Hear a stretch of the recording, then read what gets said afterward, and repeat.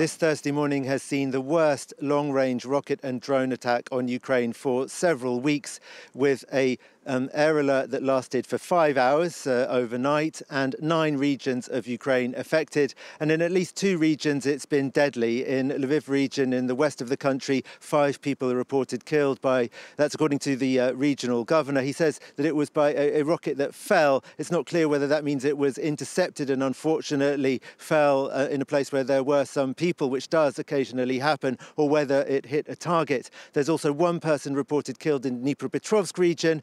And in Kiev, two people have been hospitalized. Kiev, where at least one infrastructure target was hit. And according to the mayor, Vitaly Klitschko, 40% of the city's residents are currently without heating. There are also power cuts in the capital and other parts of Ukraine. That's for the first time in more than a month for most of Ukraine. Ukrainians had been really starting to get used to having the electricity on uh, all the time. So it's uh, back to the bad times that uh, Ukrainians suffered across the, most of the winter when there were power cuts all, all over the country, really uh, on a daily basis, pretty much.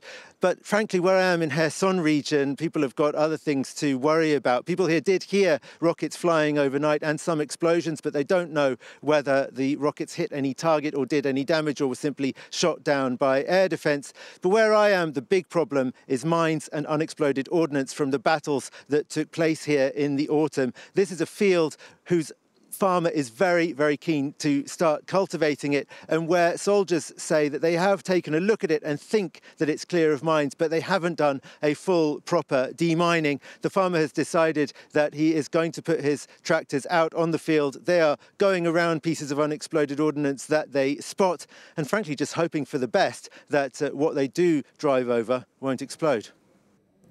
Well, meanwhile,